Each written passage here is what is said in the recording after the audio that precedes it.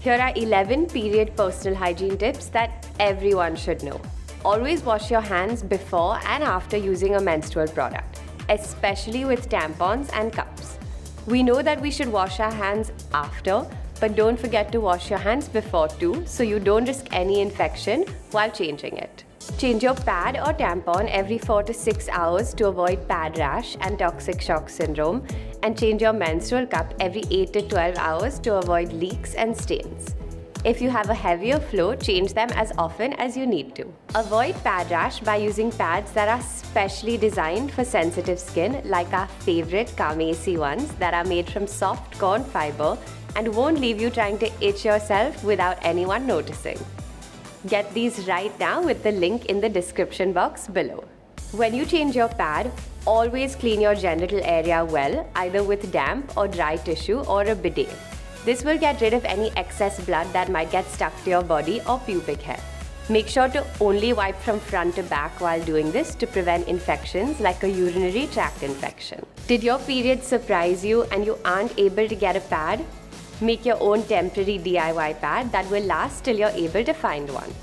Just fold some tissue paper into a thick rectangle, place it in the center of your underwear, and then wrap some more tissue around it to keep it in place. This won't last long, but it'll stop you from staining your underwear and clothes. Don't use tampons while sleeping since leaving them in for extended periods of time can cause toxic shock syndrome or TSS. You can learn more about toxic shock syndrome in this video here. But don't worry, it's super rare as long as you're mindful of how to properly use tampons. Use the correct tampon absorbency. They come in light, medium and heavy to match your flow. Don't use a heavy absorbency tampon on a light day since it won't fill up and will be uncomfortable to remove after. Learn to throw out disposable period products like pads and tampons the right way. Never flush them down the toilet or you will end up clogging it. Instead, wrap them properly in tissue or a pad disposal bag and throw them in the trash. Are you a menstrual cup user? Always sterilize your cup in between cycles, either by boiling it in water or getting your very own mess-free, fuss-free cup sterilizer that lets you just add water, pop in your cup and take it out as good as new in a few minutes. You can find this using the link in the description box below too. Period stains are the worst, but here's an effective way to get rid of them. If you've got a stain red-handed and it's fresh, just run it under cold water, squeeze on some liquid detergent and scrub at it with an old toothbrush.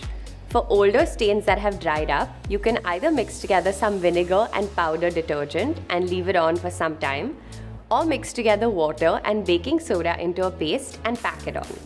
Wash as usual after and your stain should be gone.